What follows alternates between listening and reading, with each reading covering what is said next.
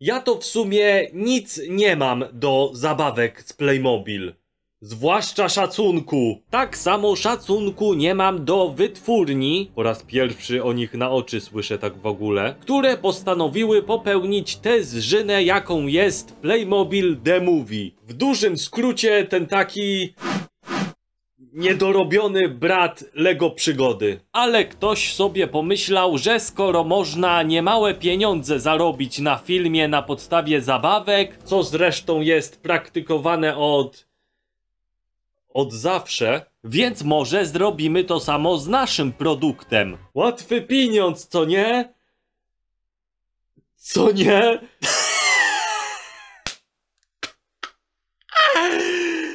Ktoś tu się przeliczył. Takie zarobki na filmie animowanym dla dzieci. To jest kwina. Może to też kwestia bardzo kiepskiego marketingu, bo jedyne co pamiętam z polskich zwiastunów to to, że obok pana Dorocińskiego, jednej z głównych postaci, głos podkłada Tomasz Karolak. Gwia geniusz gwiazda polskiego dubbingu jedyna.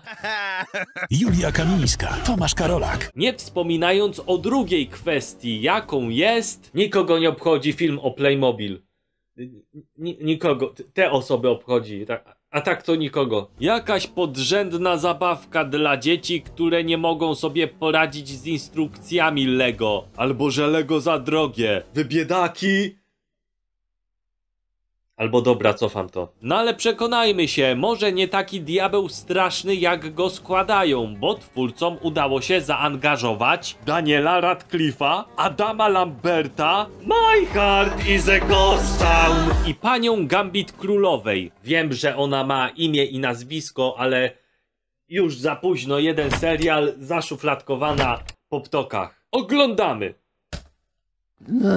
Oj, nie świruj, Marla, weź, mów normalnie. Po wygraniu turnieju Warcaby postanowiła przewalić hajs na podróż dookoła świata. Tylko trzeba o tym jakoś powiedzieć rodzicom. W życiu młodej kobiety nadchodzi taka chwila podjęcia tej ważnej decyzji. Wyjść bogato za mąż albo założyć OnlyFansa. Edukacja to najważniejsza rzecz w życiu. Ale wiecie, chodzę do szkoły już 12 lat I wypadałoby w końcu skończyć tę podstawówkę. i warto chyba, żebym dowiedziała się trochę więcej o świecie. To se odpal wiadomości od Google'a, naprawdę wiele się można dowiedzieć o świecie. No nie będę się kłócił. Jej przemówienie zakłócił młodszy brat, któremu postanawia przedstawić plan swojej podróży w postaci... Wyjawię ci tajemnicę. Pomysłu się chwycę. Pi piosenki. Podejmę wyzwanie. Wyprawy mam w planie. Mo- moje, moje ulubione. Chcę kiedyś mówić, że poznałam tego świata smak. Zaraz, ona mówiła, że idzie na studia? Pójdę na studia jak wrócę, ale teraz... Skąd ona w wieku 19 czy 20 lat ma hajs na podróż dookoła świata? Ja w jej wieku mogłem się co najwyżej przejść do żabki, a i tak byłem na minusie.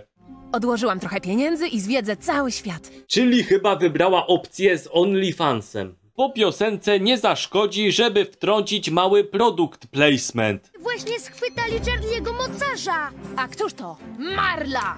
Kobieta, rycerz! A ja! Wow, ta wartka akcja, ta scenografia. Co z tego, że w Lego przygodzie ojciec tego dzieciaka miał całą piwnicę, całe miasto i budynki zbudowane z Lego, kiedy tutaj macie Wiking i rycerz! Wiking i rycerz! 2, 4, 12 czy 15 ludzików. Nawet nie mają żadnego zamku. Chyba do akcji musi wkroczyć super duet katapulta! Ani wspomnianej katapulty, bo tutaj trzeba użyć siły wyobrazić. Śmiech na sali. Złap mnie, Charlie, złap mnie! Niestety ich zabawę przerywają jacyś upierdliwi. Już idę, no chwilkę! Co się dzieje? Ktoś umarł czy coś? Niestety wydarzyło się nieszczęście. Ups. Czy możemy wejść i chwilę porozmawiać? Dobra, spoko luz, pewnie nic takiego się nie stało. Wasi rodzice mieli wypadek samochodowy. Samochodzik się wyklepie, policja podjechała, żeby spisać numer ubezpieczenia czy coś. Znów nie wystawiasz do wiatru? Cztery lata później. Nie, to nie, pójdę z Frankiem. A jednak nie. Jak każde rodzeństwo po śmierci rodziców, w każdym oklepanym filmie oczywiście muszą się kłócić i przechodzić kryzys. Wiecznie to samo. Ej! Mam cały dom na głowie! To go ściągnij. Mam to gdzieś! Nie pyskuj! I nawet nie próbuj! Trzaskać drzwiami. Skąd wiesz, że trzasnął? Może okno było otwarte i się przeciąg zrobił jak wchodził. Żarty żartami, ale spróbuj to wytłumaczyć swojej matce po tym jak skończyłeś jej pyskować i dzieje się... No to powodzenia, młody kawalerze, se ugotuj. To se zrobię! Se ugotuj. Zrobię!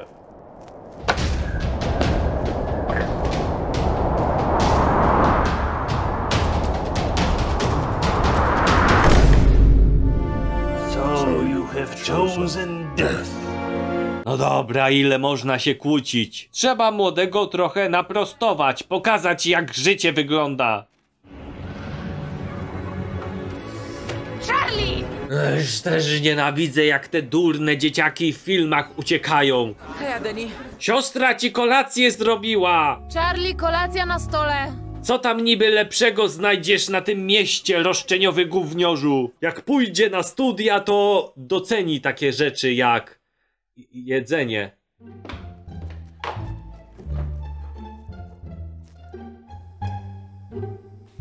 Hmm, jeśli będę jadł bigos od mamy przez najbliższe pięć dni, to będzie mnie stać, żeby kupić sobie chleb w przyszłym tygodniu. Sorry.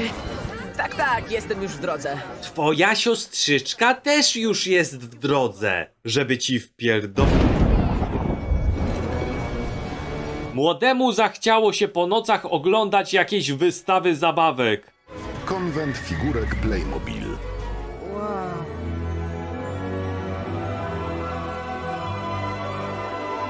Jak nudnym człowiekiem trzeba być, żeby zachwycać się wystawą zabawek z Playmobil? Co ty, kobieto, nie widziałaś Gwiazdy Śmierci z Lego? Tak, wiem, że co chwilę porównuję do Lego, ale... Ty? Kontra kolega, o którego masz się nie martwić. Dosyć tych zachwytów. Masz szlaban szczenioku.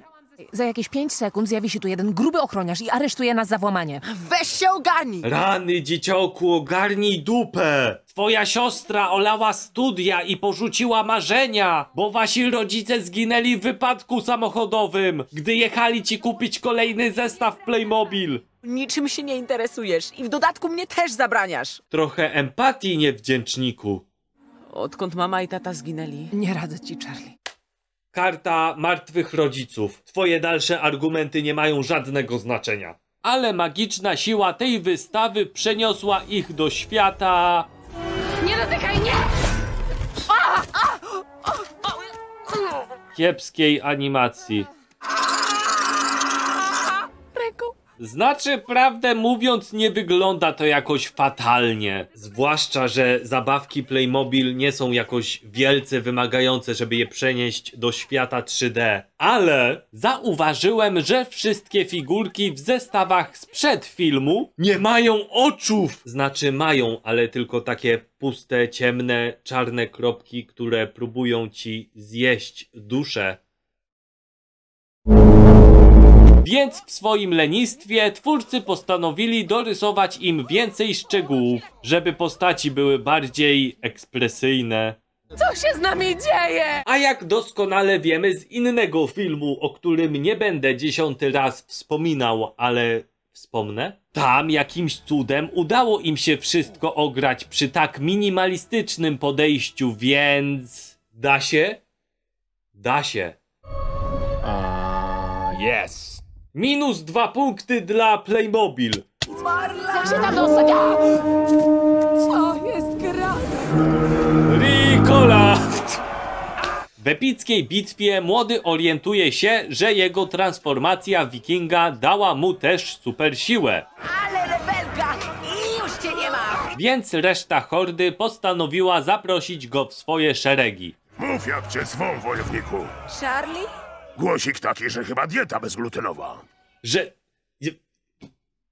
Ja... Co? Co to ma w ogóle do rzeczy? Chyba dieta bezglutenowa. Pierwszy raz obraziłem się o żart, który mnie kompletnie nie dotyczy. O nie, zamieniam się w aktywistów z Twittera. Nie no, ale serio, tak kompletnie nie ma sensu. Bez gluten. Charlie! Tak, ale od dzisiaj mów do mnie żelazna ręka. Na mnie też mówili żelazna ręka. Dopóki nie odkryłem tego lifehacka z rękawiczką i gąbkami i puszką po Pringlesach. Albo dobra, to kiedy indziej powiem. Panowie wikingowie historię swojego plemienia postanowili przedstawić w postaci... Słuchaj się w treść. Ja pierdzielę kolejna! Jakieś żarty? Miodu. Dalej!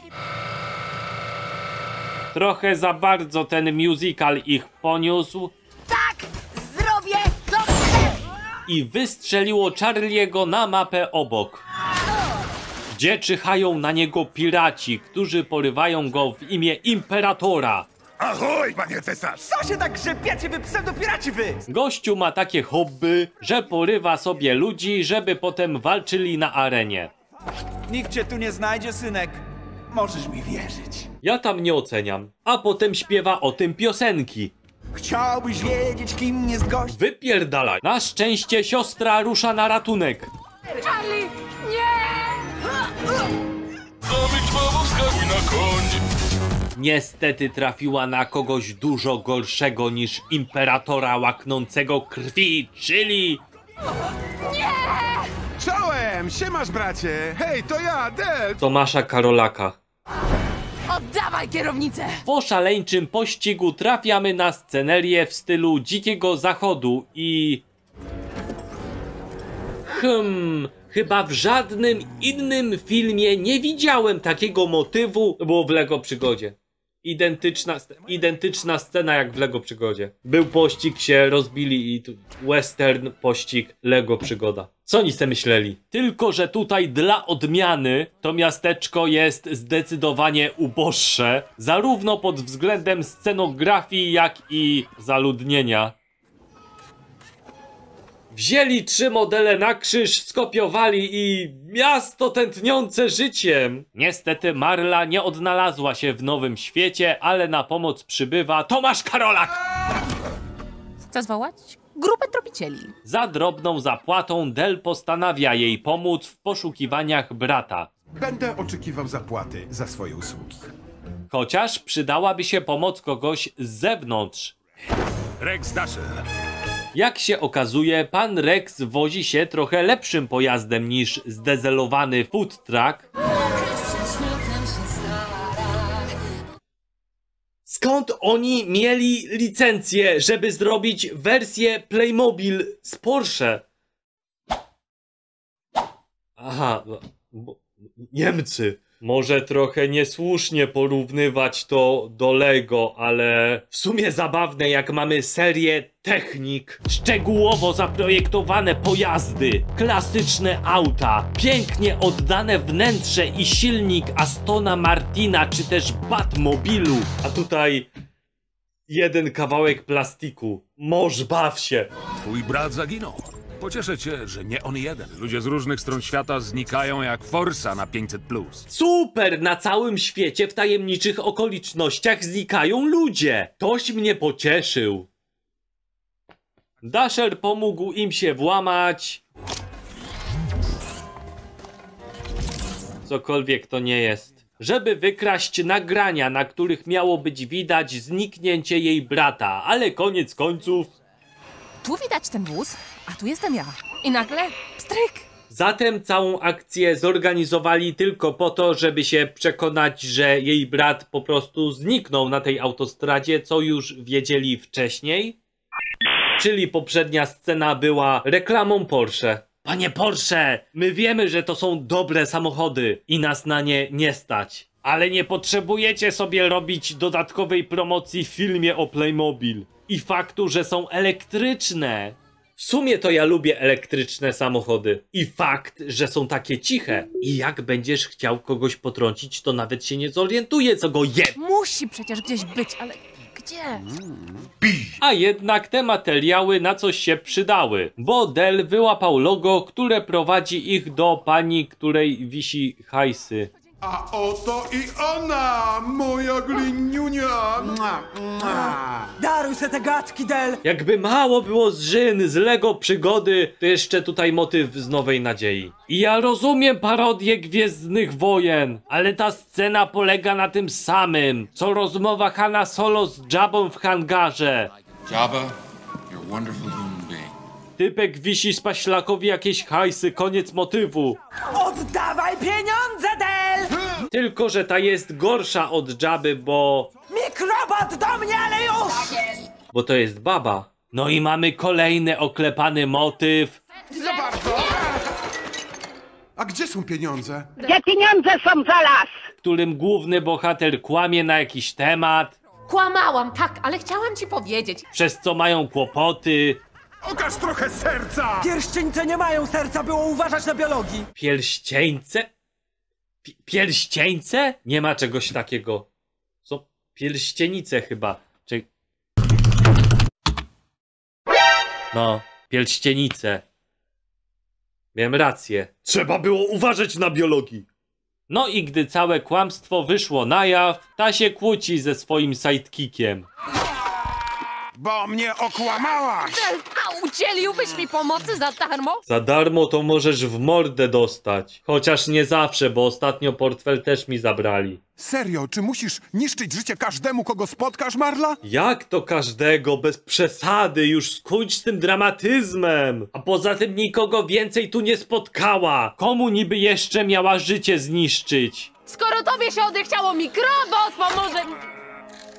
No dobra, robotowi nawet zniszczyła. Del się obraża, nawet słusznie w tym wypadku. No ale ile można? Zobaczmy drugi wątek.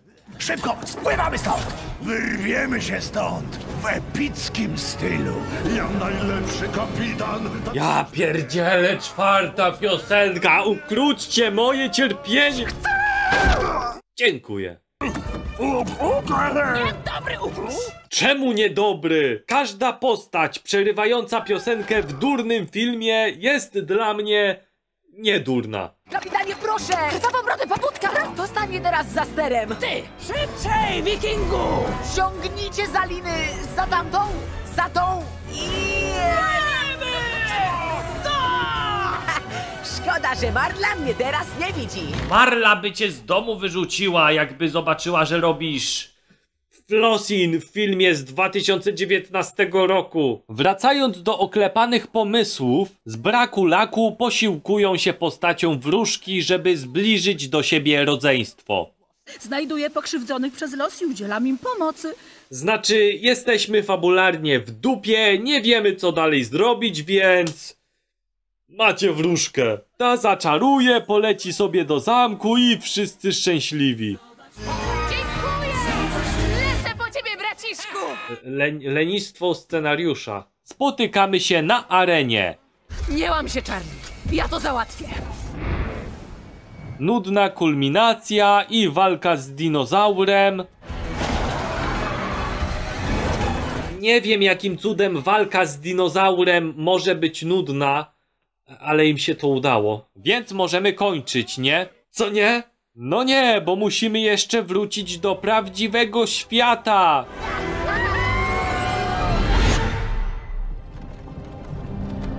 Hey, you.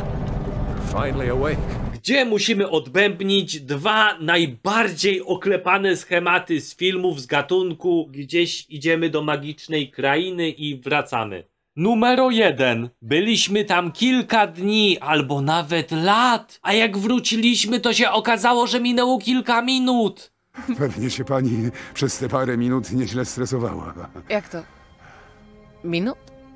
Narnia, Incepcja. Dobra, zły przykład, nie stawiajmy Narni obok Incepcji. I numero drugo. Jakiś element z naszej przygody pojawia się również w prawdziwym Jest to błędny. Ale Tak, tak, jest. Wow, Porsche na ulicy! Nigdy nie widziałam takiego samochodu! A czy to oznacza, że nasza przygoda wydarzyła się naprawdę? A tak naprawdę to ten film to kpina. Kiepski i zelżnięty pomysł próbujący powtórzyć sukces wspomnianej wcześniej Lego przygody. Tylko, że tutaj dla odmiany na każdej płaszczyźnie ta animacja zawodzi. Sądzę, że największa wada tej produkcji to to, że jest po prostu nudna, nic się nie dzieje, oklepane schematy. Nawet tutaj jakiegoś większego morału nie ma. W ogóle nie ma morału. Co to za film bez morału? Przepraszam ja bardzo. Rozumiem, że to jest przeznaczone dla zdecydowanie młodszych widzów, ale nie zdziwiłbym się, jakby dzieciaki wychodziły z kina i ostrzegały znajomych, żeby pod żadnym pozorem na to nie szli. A wnioskując po wspomnianym na początku odcinka box office tej produkcji, faktycznie tak mogło być.